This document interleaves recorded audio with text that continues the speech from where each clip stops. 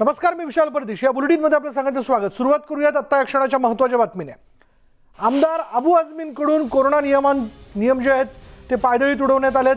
वाढदिवसाच्या निमित्तानं अबू आझमींनी एक रॅली काढली होती आणि या रॅलीत शेकडोंची गर्दी बघायला मिळाली. कार्यकर्त्यांसह आझमींनी सुद्धा इथे मास्क लावलेला नव्हता. आझमींची भर रस्त्यात तलवारबाजी देखील तिथे बघायला मिळाली आणि त्यामुळे आता अबू आझमींवर कारवाई होणार का? शासनाचे नियम आमदारांना लागू नाहीत का? पोलीस याबद्दलचा गुन्हा दाखल करणार का? कारवाई कागदोपत्री की खरंच? कशी रोखणार तिसरी लाट? सर्वसामान्य कोमात आणि नेते जोमात असंच म्हणावं लागेल या दृश्यांवरनं.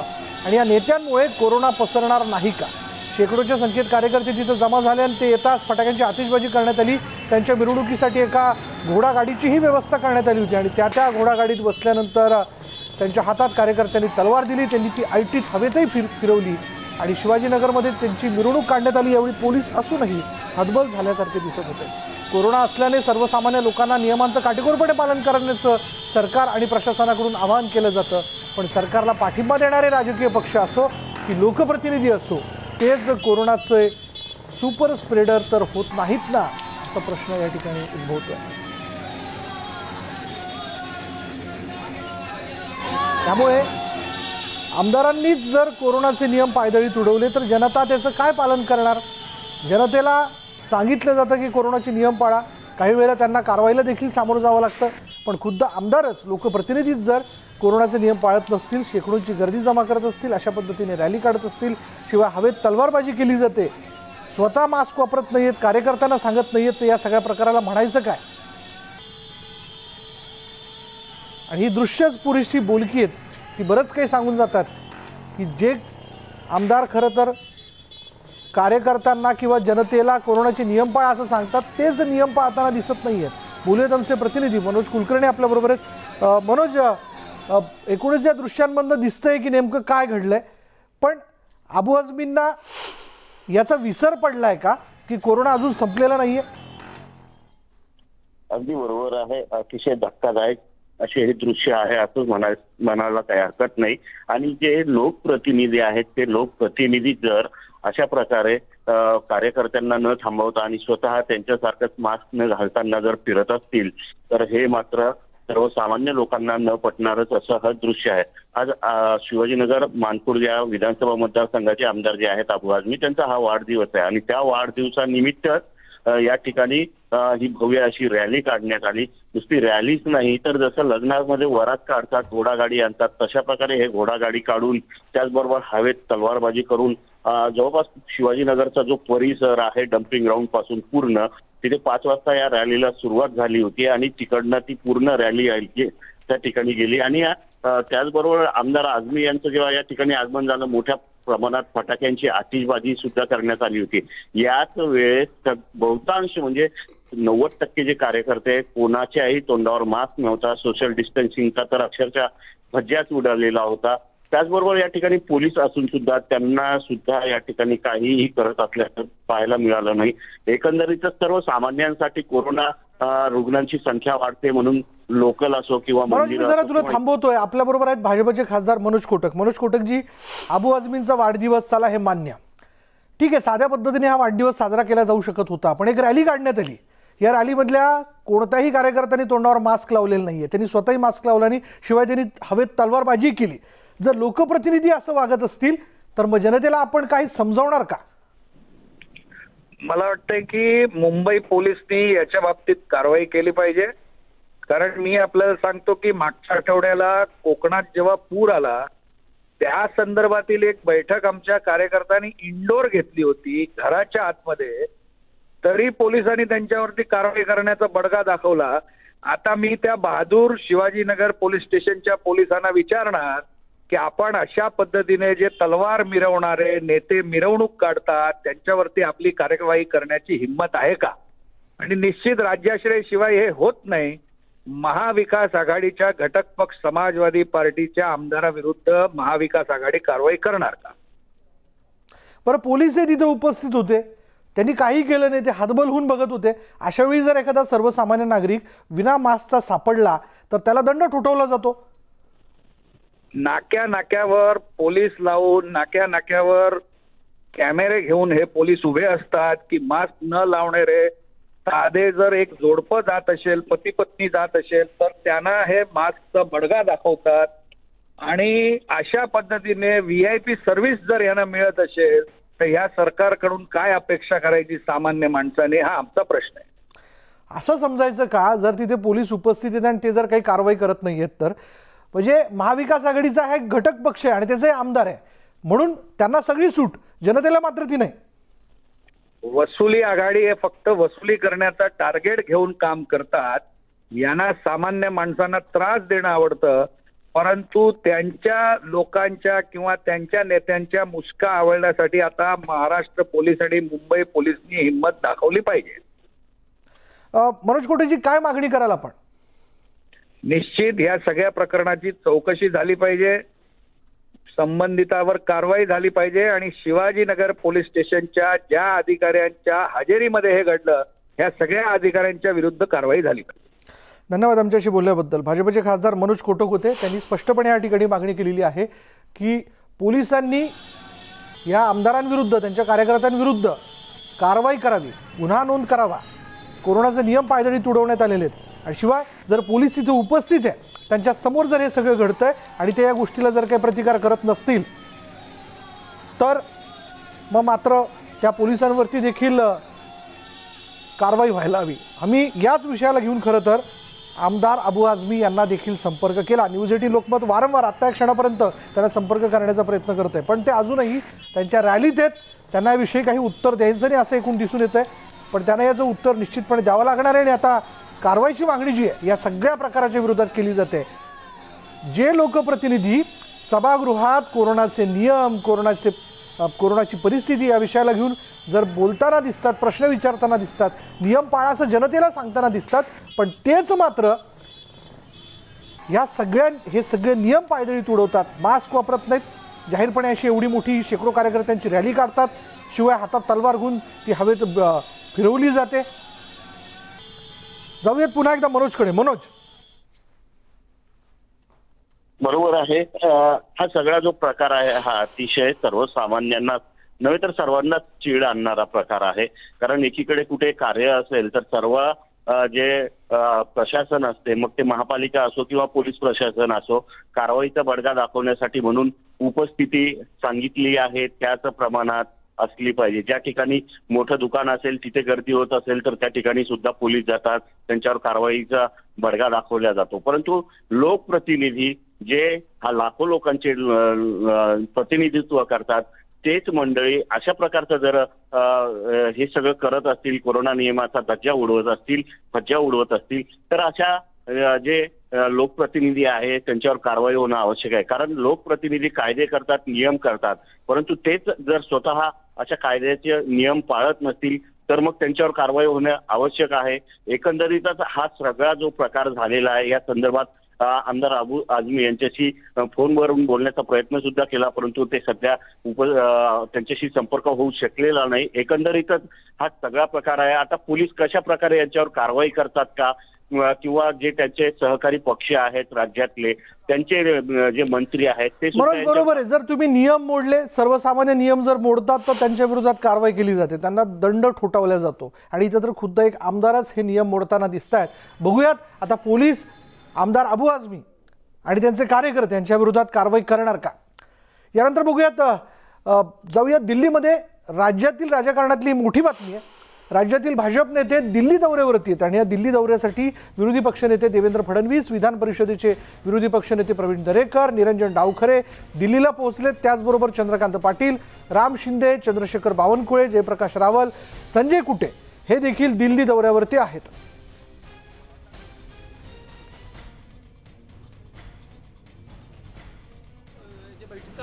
आता उद्याच्या कशा पद्धतीच्या आहेत कुठे काय नाही किती बैठका आहेत कशा आहेत याचा मला काही कल्पना नाही आहे मला फक्त एवढंच माहीत आहे की सर्व महाराष्ट्रातील खासदारांचं त्या ठिकाणी संमेलन आहे ज्या संमेलनामध्ये नव्यानं त्या ठिकाणी झालेले महाराष्ट्रातील मंत्री आणि महाराष्ट्राच्या वतीनं त्या ठिकाणी देवेंद्रजी फडणवीस आमचे नेते म्हणून आणि प्रदेशाध्यक्ष चंद्रकांत दादा त्या ठिकाणी उपस्थित असतील. अशाच प्रकारच्या कार्यक्रमाची मला त्या ठिकाणी कल्पना आहे किंबहुना मला निमंत्रण. रावसाहेब दानवेंकडून तशा पद्धतीचं आलं आहे बाकी देवेंद्रजींच्या बैठका आणि काय कार्यक्रम आहेत याची मला कल्पना नाही.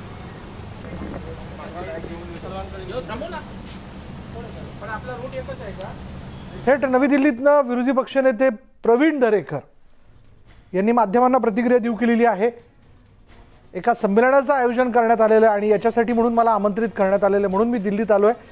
आणि त्याला जोडून जर देवेंद्र फडणवीस यांच्या काही बैठका जर होत असतील तर त्या बैठकांबद्दल मला कोणत्याही प्रकारची कल्पना नाही असं उत्तर त्यांनी देऊ केलं आहे जाऊयात आमचे प्रतिनिधी प्रशांत लीला रामदास आपल्याबरोबर आहेत ते या सगळ्या घडामोडींवरती लक्ष ठेवून आहेत. एकाच वेळी भाजपचे एवढे सगळे नेते दिल्लीमध्ये जातात राज्यातली नेते. याचा अर्थ नेमका काय काढायचा प्रशांत? महत्वाचं म्हणजे जर बघितलं ज्या पद्धतीने चंद्रकांत दादा पाटील यांनी दावा केला आहे की सर्व केंद्रीय मंत्री जे आहेत त्या केंद्रीय मंत्री जे नवनियुक्त केंद्रीय मंत्री आहे या सगळ्यांशी भेटण्यासाठी आम्ही एक शिष्टमंडळ घेऊन इच्छालेलो आहे भारतीय जनता पक्षाचं. त्यामध्ये चंद्रकांत दादा पाटील आहे त्यानंतर संजय कुटे आहे त्याशिवाय जर बघितलं आपण तर सोबतच जर बघितलं आपण तर या सर्व शिष्टमंडळामध्ये राम शिंदे देखील आहे आणि याशिवाय चंद्रशेखर बावनकुळे देखील आहे हे दोन दिवसापूर्वी हे शिष्टमंडळ आलं होतं. आज प्रवीण दरेकर निरंजन डावकरे आणि देवेंद्र फडणवीस हे तीनही नेते दिल्लीत पोहोचलेले आहेत. उद्या दिवसभर बैठकांची सत्र असण्याची शक्यता आहे. यामध्ये खास करून नितीन गडकरी यांच्याकडे देखील हे सर्व मंत्री जाण्याची शक्यता आहे. आणि शांत सायंकाळी रावसाहेब दानवे यांच्याकडे सर्व खासदार आणि केंद्रीय मंत्री उपस्थित राहणार आहे ज्यामध्ये नितीन गडकरी त्यानंतर पियुष गोयल त्याशिवाय इतरही जे महत्त्वाचे मंत्री आहेत नारायण राणे हे देखील उपस्थित राहणार आहे. आणि सर्व भारतीय जनता पक्षाचे खासदार देखील उपस्थित राहणार आहे पण सोबतच अतिशय महत्वाचं म्हणजे या बैठकीला जे अध्यक्ष आहे भारतीय जनता पक्षाचे नड्डा जे पी नड्डा हे देखील उपस्थित राहतील. आणि अमित शहा यांना देखील या बैठकीचं आमंत्रण देण्यात आलेलं आहे.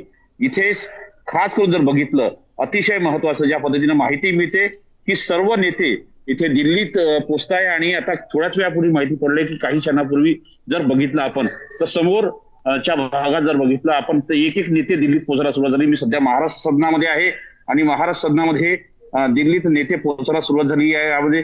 आणि सोबतच चंद्रकांत दादा पाटील हे परवा पोहोचले त्यानंतर आता जर बघितलं आपण इथे तर आता महाराष्ट्र सदनामध्ये नेते यायला सुरुवात झाली. यानंतर माझ्यासोबत जर बघितलं आपण सोबतच या या घडीला जर बघितलं आपण तर एक एक नेते या पोहोचायला सुरुवात झाली आहे. प्रवीण दरेकर हे महाराष्ट्र सदनात पोहोचलेले आहे आणि याशिवाय जर बघितलं आपण तर या सगळ्या पार्श्वभूमीवरती कुठेतरी हे निश्चित होतंय की प्रवीण दरेकर यांच्यासोबतच काही नेते देखील दिल्लीत येत आहेत. बरोबर. माझ्या मागे प्रवीण दरेकर आहे आणि इथे नेते पोहोचण्याची आहे. देवेंद्र फडणवीस पोहोचले आणि हे सगळे नेते दिल्लीत विविध बैठकीत सहभागी होतील अशी शक्यता शक्यता आहे. धन्यवाद प्रशांत या सगळ्या तपशिलाबद्दल. यानंतर पुढे आपण बघणार आहोत संसदेच्या अधिवेशन काळात गेल्या आठवड्यात संजय राऊत आणि राहुल गांधींची भेट झाली. किमान चार वेळा दोन्ही नेते एकमेकांना भेटले. शिवसेना आणि काँग्रेस यांची मन जुळल्याची चर्चा जी आहे ती सुरू झाली आहे. या भेटीनंतर सुरू झाली राहुल गांधींच्या भेटीनंतर आज संजय राऊतांनी शिवसेना पक्षप्रमुख मुख्यमंत्री उद्धव ठाकरेंची भेट घेतली आणि त्यामुळं राऊतांना उद्धव ठाकरेंना राहुल गांधींचा कोणता निरोप त्यांनी तिथे पोहोचवलेला आहे याबद्दल मोठी चर्चा सुरू झाली आहे.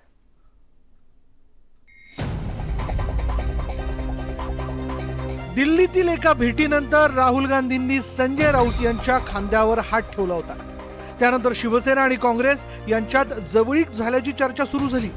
स्वतः राऊतांनी देखील याबद्दल अनेकदा बोलून दाखवलं.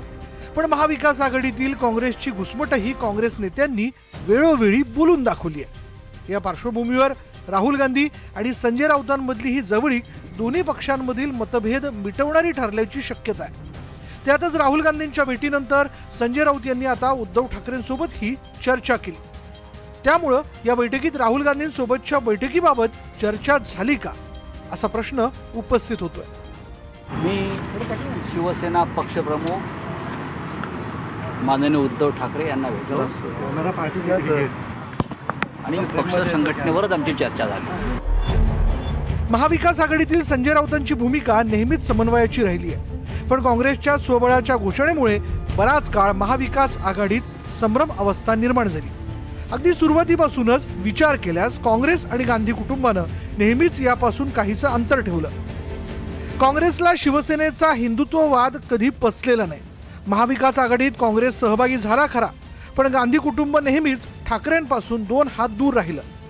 पण मध्यंतरी आदित्य ठाकरेंनी राहुल आणि सोनिया गांधींची भेट घेतली आणि दोन्ही कुटुंबातील अंतर काहीसं कमी झालं.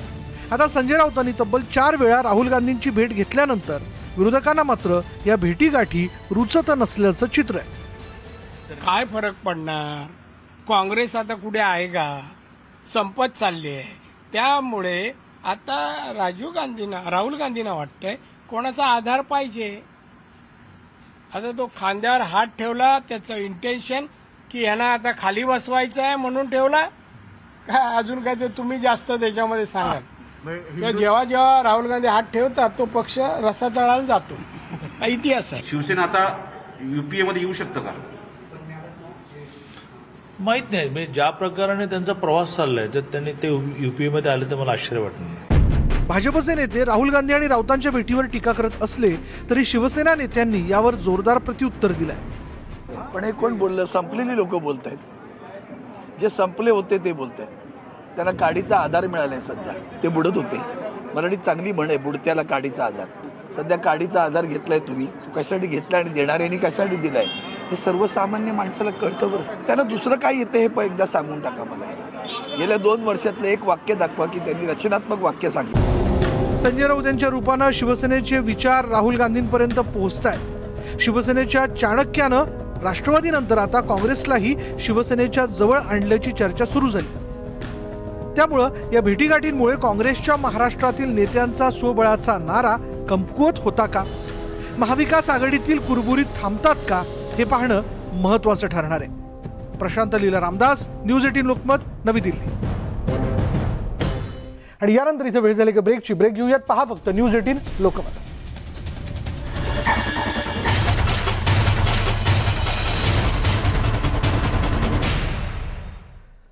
ब्रेकनंतर बघूयात. मुंबईनंतर आता पुण्यातील नियम शिथिल झाले तशी घोषणा उपमुख्यमंत्र्यांनी केलेली आहे आणि आता मुख्यमंत्री रात्री आठ वाजता जनतेशी संवाद साधतील.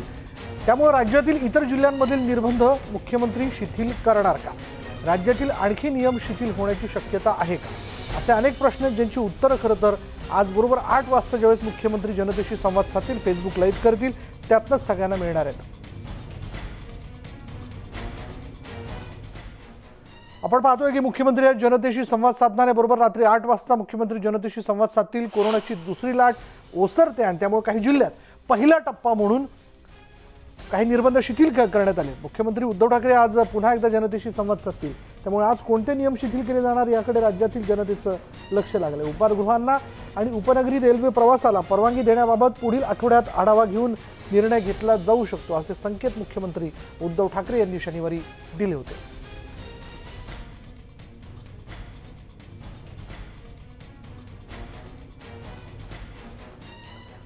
तर पुणेकरांसाठी आनंदाची बातमी अशी आहे की उपमुख्यमंत्री आणि पुण्याचे पालकमंत्री अजित पवार यांनी दुकानदार आणि हॉटेल मालकांना दिलासा दिला पालकमंत्री पवार यांनी घेतलेल्या बैठकीनंतर पुणे आणि पिंपरी चिंचवडमधील कोरोना निर्बंधांमध्ये शिथिलता देण्याबाबतचा निर्णय जाहीर करण्यात आला. त्यानुसार पुणे आणि पिंपरी चिंचवड शहरात सर्व दुकानं एक दिवस वगळता सकाळी सात ते रात्री आठपर्यंत सुरू राहणार असून पुण्यातील सर्व हॉटेल्स रात्री दहा वाजेपर्यंत सुरू राहतील. तसंच पुणे आणि पिंपरी चिंचवडमधील मॉल्स रात्री आठपर्यंत सुरू राहतील. मात्र दोन्ही लस घेणाऱ्यांनाच मॉलमध्ये प्रवेश देण्यात येईल. पुणे ग्रामीणच्या करता सर्व दुकानं आस्थापना आठवड्याच्या सर्व दिवस दुपारी चारपर्यंत सुरू राहणार आहेत. हॉटेल रेस्टॉरंट पन्नास टक्के क्षमतेसह दुपारी चारपर्यंत सुरू ठेवायला पुणे ग्रामीणच्या करता मान्यता देण्यात आलेली आहे. यानंतर या बुलेटिनमध्ये इथेच थांबणार आहोत. पहा फक्त न्यूज एटीन लोकमत